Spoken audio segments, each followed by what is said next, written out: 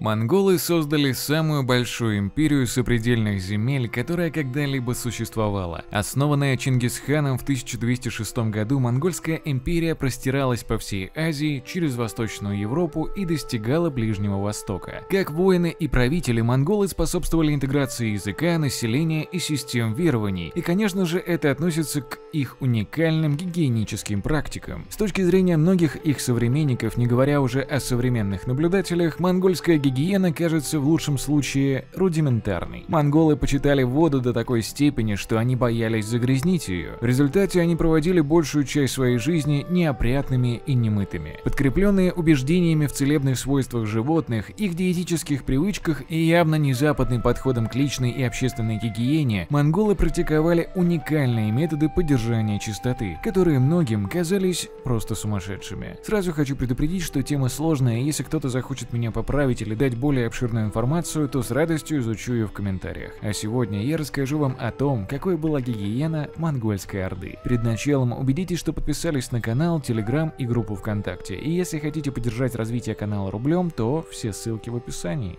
Итак, это история по черному. Поехали.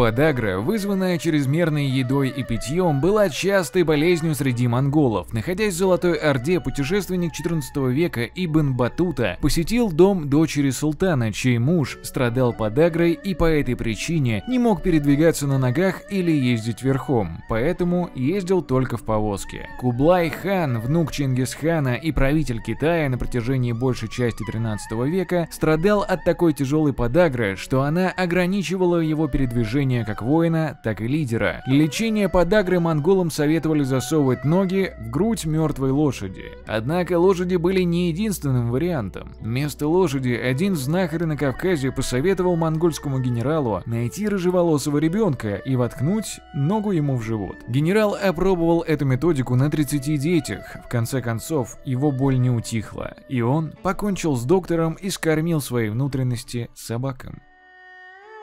Французский монах Гильем де Рубрук путешествовал во всей Монгольской империи в 1250-х годах, записывая свои путешествия. Рубрук описал монгольские прически, отметив, что мужчины брили участки на макушке головы вдоль висков и шеи, а также поперек лба до макушки головы. А длинные волосы по бокам их головы они заплетали в косы. Точно так же женщины брили переднюю часть головы после вступления в брак и отращивали длинные волосы. Рубрук писал, когда они хотят вымыть руки или голову, они наполняют рот водой, которая стекала из рта на руки, и таким образом они также смачивают волосы и моют голову. Монголы почитали воду и старались ее не осквернять. Согласно источникам современных монголов, Чингисхан говорил, что если какая-либо вода коснется лица человека, а затем вернется в источник, человека должны казнить. Поэтому, возможно, будет справедливо предположить, что этот процесс был разработан для того, чтобы монголы не пролили воду обратно в источник.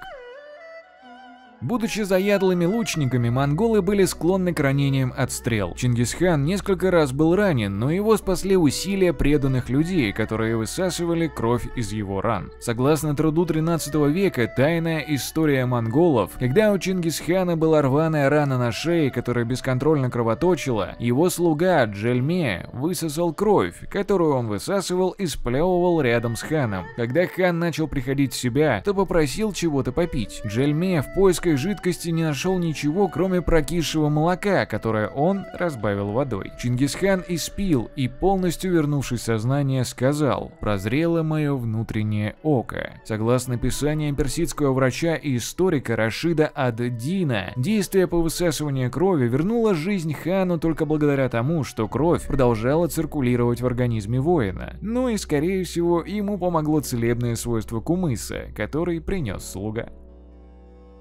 Вода была священной для монголов, и ее разрушение или загрязнение считалось наказуемым преступлением. Стирка одежды была запрещена, а мытье тела или рук весной или летом также запрещались из-за страха перед грозами. Однако одним из самых тяжких преступлений было то, что человек выпускал свои телесные жидкости в ручей, реку или аналогичный водоем. Чингисхан придал юридический статус многим ранее существовавшим религиозным табу, и монголы строго запретили запрещали мочеиспускание в проточной воде или в жилище, опасаясь злых духов. Если человек намеренно мочился в воду или дома, то его ожидала смертная казнь. В случае случайного мочеиспускания монголы подвергались крупному штрафу, и плата выплачивалась за уборку дома и имущество оскорбленной стороны. Пока уборка не закончилась, никто не смел входить в жилище или что-то из него забирать. Согласно Яссе, своду правил, сформулированных Чингисханом, монголам запрещалось стирать одежду в проточной воде. Некоторые ученые интерпретируют этот мандат так, что он применяется только во времена грозы, но Гильем де Рубрук считал, что это из-за страха, что стирка их одежды вызывала грозу. «Они никогда не стирают одежду», – писал Рубрук, «потому что Бог был бы разгневан этим, и если бы они повесили ее сушиться, прогремел бы гром. Грома они боятся необычайно, и когда когда гремит гром, они выгоняют из своих жилищ всех чужаков, заворачиваются в черный войлок и так прячутся, пока он не пройдет. Их отвращение к стирке одежды воспринималось всерьез, и тех, кого ловили, избивали. Вместо того, чтобы мыться, хан ожидал, что его собратья-монголы будут носить один и тот же предмет одежды до тех пор, пока он не износится. Когда монголы напали на Шаян в 1274 году, во время битвы против династии Сун, один из воинов был поражен вражеской стрелой, повредив плечо. После этого Баян, один из самых доверенных военачальников Кублай-хана, приказал этому человеку вспороть брюхо водяного буйвола и залезть в него. Через некоторое время воин пришел в себя. Использовались как водяные буйволы, так и валы, потому что их тела давали спасительное тепло. Важность выпаса мяса животных для монголов также указывает на то, что эта практика, скорее всего, была зарезервирована для мужчин элитного статуса. Монголы почти ничего не мыли. Когда они ели, их руки, как сообщается, были покрыты жиром, грязью и остатками еды. Все это они вытирали о свою одежду, которая также редко была чистой. Однако животный жир, намазанный на их одежду, помогал монголам защищаться от непогоды в степях Центральной Азии. У монголов было обычной практикой покрывать свою верхнюю одежду жиром, чтобы сделать ее водонепроницаемой и ветрозащитной. И если бы они постирали свою одежду, это сняло бы этот защитный слой. Однако у монголов были и другие методы очищения. Вильгельм Рубрук рассказывал, все то, что предназначено попасть ко двору, проносится между двух огней. Таким же образом они очищают вещи своих умерших. Когда кто-то из них погибает, они откладывают все его имущество и не отдают никому, пока не очистят пламенем. Огонь был для монголов посредником между небом и землей, тем, кто готовил им пищу, обогревал их жилища и в конечном счете очищал все вещи от вредных элементов. Когда монах Иоанн де Плана Карпини посетил двор Гуюкхана в 1240-х годах, ему сказали не бойся, тебе лишь нужно пройти между этими двумя кострами, чтобы ты очистил все свои грязные мысли. Если у тебя есть яд, то огонь устранит и его. Несмотря на то, что монголы не понимали теорию микробов или то, как работает болезнь, они понимали заражение и важность того, чтобы держать посторонних на расстоянии во время болезни. По словам Рубрука, если кто-то из членов Большого дома или Орды заболевал, монголы расставляли стражу, которая никому не позволяла пересекать границы, где находились заболевшие, ибо они боялись, как бы злой дух или какой-нибудь ветер не пришел с теми, кто входит. Однако они призывали в места карантина своих своих священников или прорицателей, чтобы те лечили больных. Так как они ассоциировали болезнь с духовным расстройством, монголы стремились не делать того, что делал человек перед тем, как его настигла болезнь. Тем не менее, они также понимали, что отправка пораженных болезнями тел в осажденный город приведет к болезням и разрушениям изнутри. Когда монголы захватили Кафу в 1346 году, по словам хрониста Габриэля де Мусиса, они обрушили на город горы мертвых мертвых. В результате весь воздух был заражен, а вода отравлена разложившейся гнилью, а зловоние стало таким сильным, что едва ли кто-то мог остаться в живых.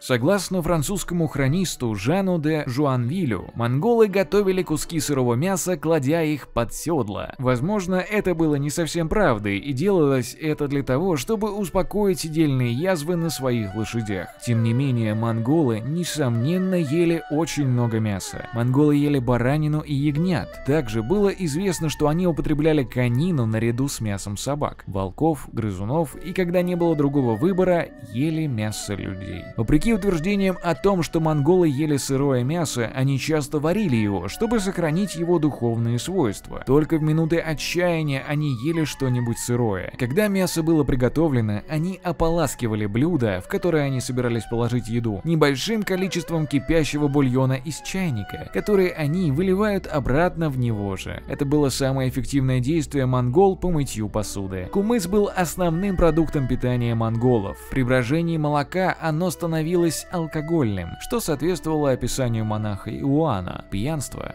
как почетное дело среди монголов. Монгольское общество настолько проникал страх перед ядами, что Чингисхан прописал это в Яссе, своем кодексе законов. Никакая еда не должна была употребляться до тех пор, пока человек, подающий ее, не попробует первым. Мера предосторожности, чтобы убедиться, что она безопасна. У Чингисхана были причины беспокоиться по поводу яда, особенно с тех пор, как его отец погиб в результате употребления испорченной пищи, которую ему дали враги. Как я уже говорил, когда монах Иоанн посетил двор Куюкхана в 1240-х годах, он был очищен огнем, чтобы убедиться, что у него нет токсичных веществ. Эта паранойя по поводу яда распространилась на употребление алкоголя. Китайские наблюдатели отмечали, что на монгольских праздниках в целях безопасности передавали по кругу одну чашу или кубок. Судя по описанию Рубрука, эта практика, несмотря на то, что и была необходима для принятия мер предосторожности, была довольно забавной. Во время одного празднования он стал свидетелем обмена обмена чашки. Первый монгол должен передать второму чашу, из которой они пьют. Но вместо этого первый начинает дразнить второго и начинает ее отдергивать, чтобы тот не смог ее ухватить. К первому присоединяется третий, и они вместе начинают отталкивать второго, плясать перед ним и напевать песни. Когда второму все же удается завладеть заветным напитком, остальные начинают громко смеяться, хлопать и стучать ногами. Две вещи беспокоили Вильгельма Рубрука, когда он посещал монголов. Первым был языковой барьер, который мешал ему эффективно проповедовать христианство. Вторым было то, как близко к нему монголы опорожнялись. Однажды монгольских друзей Рубрука охватило желание опорожнить желудки. Как он писал, они начали делать это чуть ли не на расстоянии вытянутой руки. Параллельно они общались и рассказывали истории. Это было сверх моих сил. У монголов был только один запрет, когда дело касалось употребления мяса. Они могли есть животных всех видов – лис, волков, крыс и даже своих лошадей. Но если в животное попадала молния, оно становилось несъедобным. Монголы боялись гроз. Молния и гром одинаково были знаками наказания, навлекаемого разгневанными духами. Штормы в степях Центральной Азии могут быть опасными. Учитывая, что шторм и все, что он обрушил на монголов, воспринималось как плохое, любая потенциальная пища, пораженная молнией, была испорчена. Вот такой была гигиена монголов. На самом деле материала по ней достаточно, поэтому если не забуду, оставлю в описании ссылки на источники. По традиции для тех, кто досмотрел до конца, давайте напишем в комментариях «Не бойтесь молнии». Будем отгонять злых монгольских духов под роликом. ну а на сегодня у меня все. Спасибо, что досмотрели до конца. Не забывайте подписываться, оценивать ролик лайком и оставлять комментарии. А это был Олег Черный. Всем пока.